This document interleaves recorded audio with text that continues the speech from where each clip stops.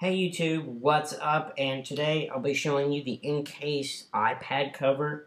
Uh, is I believe what they're calling it. Uh, I'll give a few more specifics about the actual who makes the case and things like that here closer to the end of the video.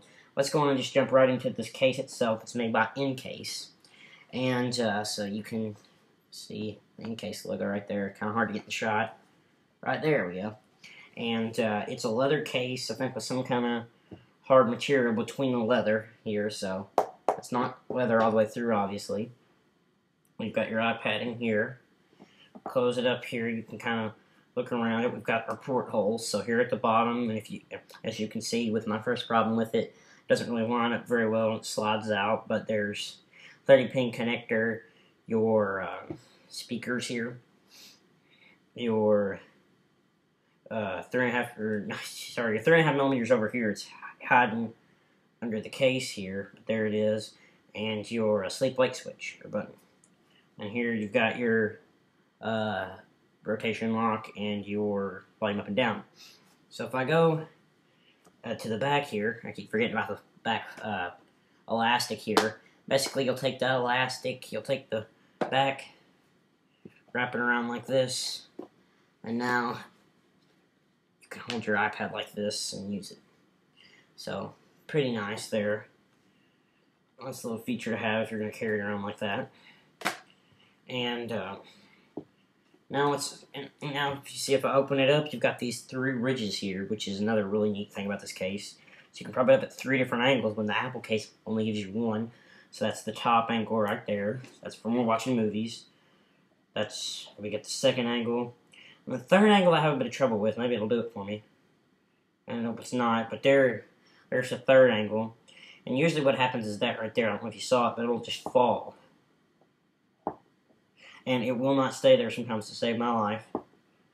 And uh, I don't, it has to do with just the way that this back part that holds the iPad in and the iPad itself. So, as you can see, I let it go there, and it falls on that third one. So the second one and the first one work fine.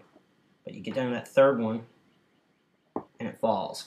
And that's what really drives me nuts about this case is this uh, last angle is really good for typing and things like that, but it just falls flat. So you're more typing at this really looking down angle, which is kind of uncomfortable. And uh, another thing I don't like about this case, if I get, if I don't lose, if I don't lose the the fiber cloth here, but uh, is that it slides out. So let me show you this here. Try not to hope to not drop the iPad. And if I just hold it like this with the iPad like this, it's immediately going to start slipping. I don't know if you can see that very well, but it's starting to slowly slip out as I pull, and there it goes. It, it's already fell out.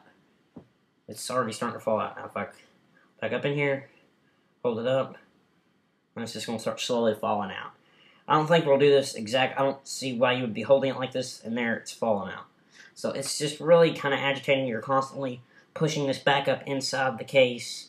I wish it had something like the Apple case does where you uh, stick a flap around underneath there to keep it inside the case and secure. Uh, let's see. Anything else I know about this case here? You know, other than the on pushing, pushing all the time to get that in there.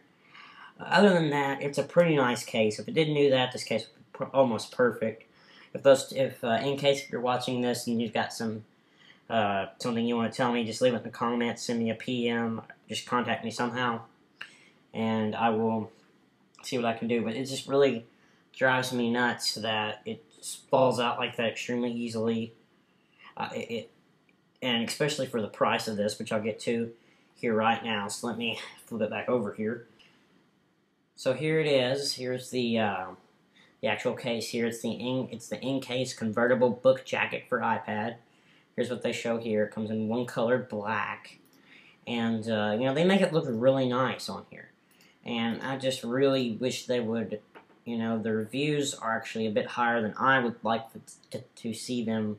They really don't give it justice for how terrible my unit at least was.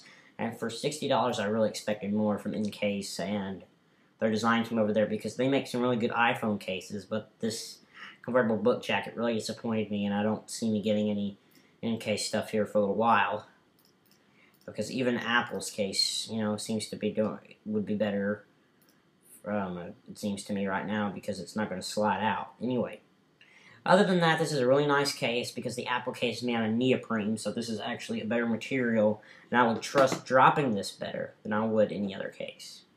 But still, for actually using the device, I would really just pull out the iPad and use it without the case, especially because I'll show you here, it's a really huge case. This thing is big and it's bulky. So anyway, uh, other than that, this is a really nice case, and uh, don't forget to rate, don't forget to thumbs up, comment, and subscribe. Uh, more iPad content coming up soon. I will see you later, YouTube. You have a great day.